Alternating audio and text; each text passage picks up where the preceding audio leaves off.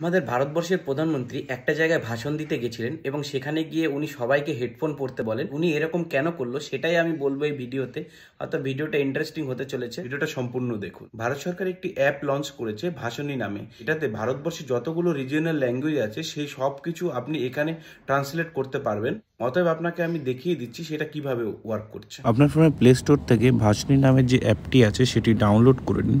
তারপরে এরকম একটি পেজ ওপেন হবে। এখানে যে ভয়েস অপশনটা আছে ক্লিক করুন। আর এরকম একটি পেজ ওপেন হবে। এখানে বাংলা থেকে যে কোনো ল্যাঙ্গুয়েজে আপনি ট্রান্সলেট করতে পারবেন বা যে কোনো ল্যাঙ্গুয়েজ থেকে বাংলায়। এবার এখানে আমি হিন্দি সিলেক্ট করে নিই এখানে আমি বাংলায় বললাম তোমরা আমার চ্যানেলটাকে সবাই মিলে সাবস্ক্রাইব করো। আমি তোমাদের জন্য ভিডিও কষ্ট করে আনছি। এটাকে দেখো ট্রান্সলেট করে দেবে হিন্দিতে এবং শোনো হিন্দিতে কীভাবে বলছে।